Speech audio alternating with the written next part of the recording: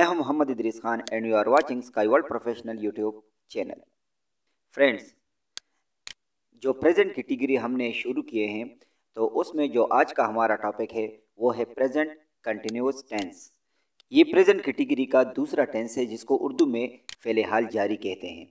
क्योंकि present indefinite tense की video मैंने पहले ही अपलोड की है।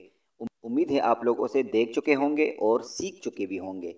तो आज हमारा जो टॉपिक है, वो है present continuous tense friends present continuous tense वो टेंस होता है कि जिसमें एक काम जारी होता है, यानी ना तो मुकम्मल होता है और ना स्टार्ट होता है। यानी मैं पढ़ रहा हूँ, मैं सो रहा हूँ, मैं जाग रहा हूँ, मैं दौड़ रहा हूँ, जो काम जारी होता है तो वो प्रेजेंट कंटिन्यूस टेंस की कैटेगरी में आता है। तो चलो शुरू कर देते हैं प्रेजेंट कंटिन्यूस टेंस में जुमला बनाने का तरीका। सबसे पहले सिंपल सेंटेंस सिंपल सेंटेंस में क्या क्या होगा? उसमें सब्जेक्ट होगा हेल्पिंग वर्ब होगा, उसके बाद वर्ब होगा और उसके आखिर में ऑब्जेक्ट होगा। तो सबसे पहले जानेंगे सब्जेक्ट क्या होता है। सब्जेक्ट काम करने वाला, यानी फ़ाइल जो जुमले के शुरू में लगता है, उसी को हम सब्जेक्ट ही बोलते हैं। या तो नाउन ही होगा या प्रोनाउन ही होगा। उसके बाद वर्ब यानी काम। सब्जेक्ट क्या काम करता है, ये वर्ब ही हमें बताता है। और हेल्पिंग वर्ब हेल्पिंग वर्ब उसको हम उर्दू में इमदादी फेल कहते हैं। और हेल्पिंग वर्ब से ही हमें पता चल जाता है कि ये कौन सा टेंस है और कौन सी कैटेगरी का है। उसके बाद ऑब्जेक्ट जिस पर काम हो रहा हो, यानी आखिर में जो लिखा होता है, उसी को हम ऑब्जेक्ट ही बोलते हैं और उसको उर्दू में माफूल ही बोला जाता है। तो नेक्स्ट पेज में मैं आपको निगेटिव और इंट्रागेटिव सेंटेंस के बारे में बताता हूँ। तो सिंपल सेंटेंस तो आपने पढ़ा कि उसमें सब्जेक्ट उसके बाद हेल्पिंग वर्ब उसके बाद वर्ब और आखिर में ऑब्जेक्ट ही लगता है। तो नेगेटिव सेंटेंस में क्या लगेगा? नेगेटिव सेंटेंस में प्रेजेंट कंटिन्यूस टेंस में जिसको फ़िलहाल जारी कहते हैं, और उसी में सबसे पहले सब्जेक्ट होता है, उसके बाद हेल्पिंग वर्ब होता है। हेल्पिंग वर्ब के फ़ौरन बाद नाट ही लगाएँगे। अगर इसमें नेगेटिव जुमले में हमने हेल्पिंग वर्ब के बाद नाट नहीं लगाया तो हमारा पूरा सेंटेंस ही गलत हो जाएगा। और नाट के बाद वर्ब लगेगा और वर्ब के बाद आखिर में ऑब्जेक्ट ही लगता है। उसके बाद इंट्रोगेटिव सेंटेंस में सब्जेक्ट से पहले हम हेल्पिंग वर्ब को लगाएँगे, उसके बाद सब्जेक्ट लगाएँगे, फिर वर्ब और फिर आखिर में ऑब्जेक्ट जो नेक्स्ट सेंटेंस है हमारे पास इंट्रोनेगेटिव सेंटेंस जिसमें हम हेल्पिंग वर्ब को सब्जेक्ट से पहले ही तो लगाएँगे। लेकिन सब्जेक्ट के बाद फिर इंट्रोनेगेटिव सेंटेंस में नाट सब्जेक्ट के बाद ही लगेगा। वर्ब से पहले और सब्जेक्ट के बाद और आखिर में फिर ऑब्जेक्ट ही लगाएँगे। तो नेक्स्ट पेज में फ्रेंड मैं आपको सबसे पहले इसके पहचान के बारे में मैं आपको सिखाऊँगा ताकि इसकी पहचान आपके जहन में बैठ जाए। तो आप जुमले को देखकर ही आपको पता चलेगा कि ये कौन सा टेंस सबसे पहले अगर उर्दू के जुमले में हम देखें तो जुमले के आखिर में हमेशा रहा है, रही है, रहे हो, रहा हूँ वगैरह आते हैं। उसके बाद इसमें अगर हम वर्ब की फॉर्म की बात की जाए तो वर्ब की पहली फॉर्म के साथ हमेशा आईएनजी का इस्तेमाल होगा। अगर इसमें हम अगर हेल्पिंग वर्ब की बात करें तो इसमें हेल्पिंग वर्ब जिस तरह प्रेजेंट एंड इंडेफिनेट टेंस में डू और डज लगता था। लेकिन यहाँ पर helping verb present continuous tense में हमेशा इज़, एम, आर लगेगा। इस किस के साथ लगेगा? एम किस के साथ लगेगा? आर किस के साथ लगेगा? अभी मैं आपको दिखाता हूँ।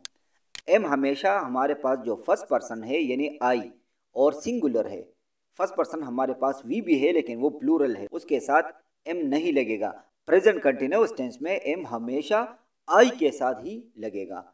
उसके बाद आर, अगर आर की बात की जाए तो आर, यू, दे और वी या प्लूरल के साथ हमेशा आर का इस्तेमाल होगा। हमारे पास यू जो है ना, ये सेकंड पर्सन है। दे जो है, ये थर्ड पर्सन है। और वी, ये फ़र्स्ट पर्सन है। लेकिन ये सारे प्लूरल है। और प्लूरल के साथ चाहे सेकंड पर्सन हो, चाहे फ़र्स्ट पर्सन हो, चाहे थर्ड पर्सन हो, लेकिन प्लूरल हो तो उसके साथ हमेशा प्रेजेंट कंटिन्यूस टेंस में आर का इस्तेमाल होगा। उसके बाद इज़ इस किसके साथ लगेगा? इस हमारे पास जो थर्ड पर्सन सिंगुलर है। जो प्लूरल नहीं है ही शी इट या नेम इसके साथ हमेशा प्रेजेंट कंटिन्यूस टेंस में इसका इस्तेमाल होगा। अभी फ्रेंड्स मैं आपको दिखाता हूँ, हमारे पास जो कुछ सिंपल सेंटेंसेस की मिसालें हैं, मैं आपको दिखाता हूँ। फॉर एग्ज़ाम्पल सबसे पहले हमारे पास है, मैं खाना खा रहा हूँ। देखो, मैं खाना खा रहा हूँ तो इसका जो हमारे पास इंग्लिश है आई एम देखो आई के साथ क्या लग गया? एम लग गया।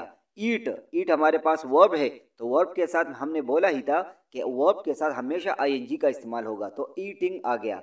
I am eating the meal देखो, अभी ये दी मील है या द मील है, ये आपको पता ही होगा, क्योंकि इस पर मैं पहले ही वीडियो बना चुका हूँ।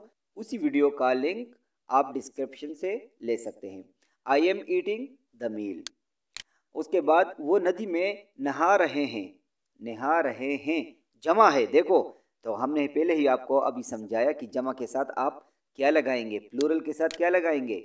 दे लगाएँगे और दे के साथ क्या आएगा? आर ही आएगा। क्योंकि ना तो एम आएगा, ना इज़ आएगा, क्योंकि ये प्लूरल है और प्लूरल के साथ हमेशा आर ही लगता है। They are bathing in the river उसके बाद वो तुम्हें धोखा दे रही है। देखो, लड़की है रही है आ गया देखो, हमें यही बता रहा है कि ये लड़की की बात कर रहा है। लड़की के लिए जो हमारे पास मुन्नस है उसके लिए हम लगाएँगे she. She is cheating you. वो तुम्हें धोखा दे रही है। शी शी आ गया शी के साथ। इज़ आ गया चीट हमारे पास। वब है वब के साथ आई एन जी लग गया। और तुम्हें के लिए यू आ गया। हमारे पास ऑब्जेक्ट आ गया। अभी कुछ और मिसालों से मैं आपको समझाता हूँ। बच्चे शोर मचा रहे हैं। देखो, बच्चे शोर मचा रहे हैं। यानी बच्चे, हमारे पास बच्चा नहीं है, एक नहीं है, ये प्लूरल है। तो प्लूरल के साथ मैंने क्या बोला था आपको? अपने जहन में लाइए। आर बोला था, देखो children are making a noise children के साथ हमेशा, क्योंकि चिल्ड्रन चाइल्ड हमारे पास सिंगुलर है और चिल्ड्रन उसकी जमा है। तो children are making a noise तुम अच्छी किताबें पढ़ रहे हो। You are reading good books देखो यू आ गया।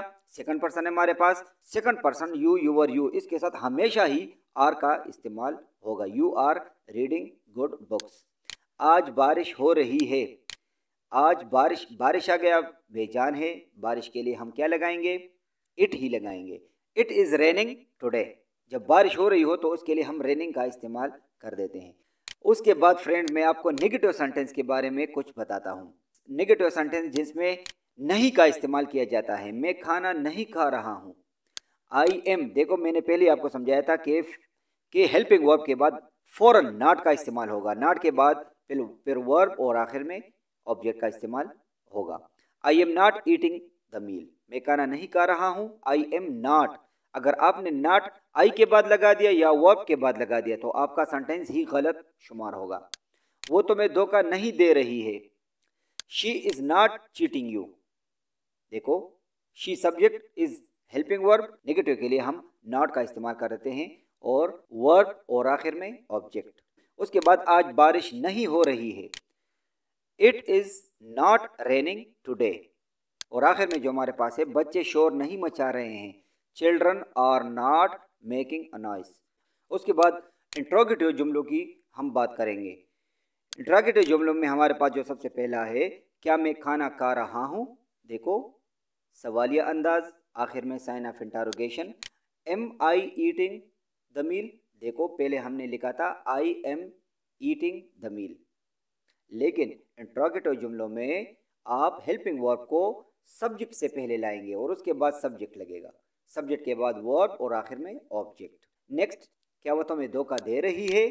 वो आ गया, लड़की की बात कर रहा है तो लड़की के लिए मुन्नस के लिए हमेशा शी ही लगता है। शी के साथ हमेशा इज़ आता है। और जब हमारे पास इंट्रागेटिव सेंटेंस हो तो उसमें हम इसको शी से पहले ही ले आएँगे। इज़ शी चीटिंग यू और आखिर में साइन ऑफ़ इंटारोगेशन उसके बाद क्या आज बारिश हो रही है? इज़ इट रेनिंग टुडे क्या बच्चे शोर मचा रहे हैं? Are children making a noise interrogative sentence में हम सिर्फ़ हेल्पिंग वर्ब और सब्जेक्ट को एक दूसरे के साथ चेंज कर लेंगे। बाकी सेंटेंस पूरा का पूरा वैसे ही लगेगा, जैसे पहले ही था। उसके बाद इंट्रोनेगेटिव सेंटेंस की बात करते हैं कि इंट्रोनेगेटिव कौन से सेंटेंस होते हैं। इंट्रोनेगेटिव सेंटेंस में नहीं का इस्तेमाल भी होगा और सवालिया जुमला भी होगा। क्या मैं खाना नहीं खा रहा हूँ? Am I not eating the meal देखो, इसमें एम भी लग गया सब्जेक्ट लग गया, लेकिन एक बात हमेशा याद रखिए पहले मैंने, पहले सेंटेंसों में जो हमारे पास नेगेटिव सेंटेंस थे तो उसमें मैंने यही बोला था कि सब्जेक्ट सब्जेक्ट के बाद हेल्पिंग वर्ब और हेल्पिंग वर्ब के बाद फॉरन नॉट लेकिन यहाँ पर हेल्पिंग वर्ब है ही नहीं, क्योंकि हेल्पिंग वर्ब को हम सब्जेक्ट से पहले लगा देते हैं। लेकिन उसके बाद जब आप, जब आपने हेल्पिंग वर्ब को सब्जेक्ट से पहले लगा दिया तो फिर उसके बाद सब्जेक्ट लगेगा सब्जेक्ट के फ़ौरन बाद आप नाट लगाएँगे। अगर आपने फ़ौरन नाट नहीं लगाया और आपने वर्ब लगा दिया और उसके बाद नाट लगा दिया तो आपका सेंटेंस पूरा का पूरा सेंटेंस ही खराब हो जाएगा। उसके बाद क्या वो तुम्हें धोखा नहीं दे रही है? इस शी नॉट चीटिंग यू देखो, इसको हमने शी से पहले लगा दिया, लेकिन शी के फ़ौरन बाद हमने नाट लगा दिया। उसके बाद क्या आज बारिश नहीं हो रही है? तो इसमें हम इस सब्जेक्ट से पहले भी लगाएँगे और नाट भी लगाएँगे, लेकिन कहाँ पर लगाएँगे? ये जगह आपके जहन में होना चाहिए कि यहाँ पर नाट हम कहाँ पर लगाएँगे? मैं एक दफ़ा फिर आपको दोहरा रहा हूँ कि इसमें नाट का आप बहुत ख्याल रखेंगे, क्योंकि अक्सर बच्चे नाट को गलत जगह पर लगा देते हैं, जिससे पूरा का पूरा सेंटेंस ही गलत हो जाता है। इज़ सब्जेक्ट से पहले, उसके बाद सब्जेक्ट उसके बाद फॉरन not. Is it not raining today आखिर में, क्या बच्चे शोर नहीं मचा रहे हैं?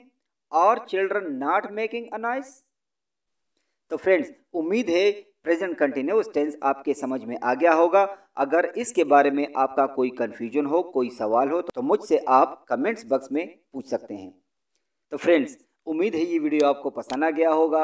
अगर पसंद आया हो तो इसको लाइक करें शेयर करें और YouTube channel Sky World Professional को सब्सक्राइब करें। तो चलो मिलते हैं नेक्स्ट वीडियो में। तब तक के लिए अल्लाह हाफिज़।